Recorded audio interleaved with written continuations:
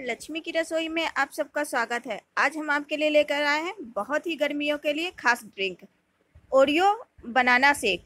आप एक बार इसे बनाकर ज़रूर ट्राई करें, बहुत ही अच्छी लगती है और बच्चों को भी बहुत पसंद आएगी।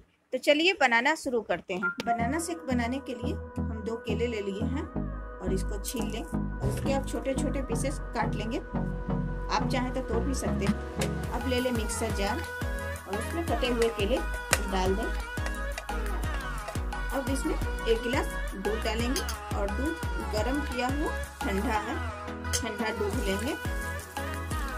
दो केले से दो गिलास बनाना शेक बनकर तैयार हो जाएगा। आप चाहें तो ज़्यादा भी बना सकते हैं या कम भी लें।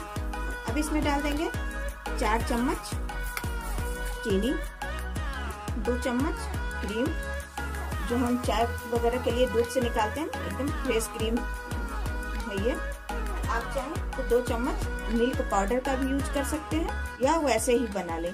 बस इससे बहुत अच्छा फ्लेवर आ जाए। अब इसमें डालें सात से आठ आइस क्यूब और अच्छा फ्लेवर देने के लिए हम इसमें डाल देंगे एक पैकेट ओरियो बिस्किट इस प्रकार तोड़ लेंगे बिस्किट को दो टुकड़ों में। ओरियो बिस्किट के टुकड़े डाल दिए मिक्सर जार को बंद करके पीस लेंगे।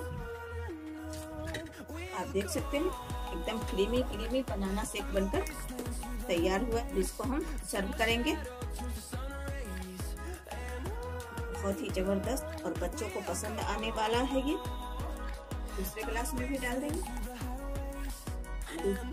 इस प्रकार आप देख सकते हैं, दो किले से बनाना शेक बनकर दो गिलास तैयार हो गया है। बहुत ही ये लाजवाब है। आप देख सकते हैं। एक ओरियो बिस्किट गिलास के ऊपर लगा दी है थोड़ा सा क्रश करके इसमें भी डाल देंगे। अगर आपको हमारी ये बनाना सेक की रेसिपी अच्छी लगे तो प्लीज़ वीडियो को लाइक करें चैनल को सब्सक्राइब करें, ज़्यादा से ज़्यादा शेयर करें और बेल आइकन को प्रेस करना न भूलें। आप हमें इंस्टाग्राम फेसबुक ट्विटर पर भी फॉलो कर सकते हैं।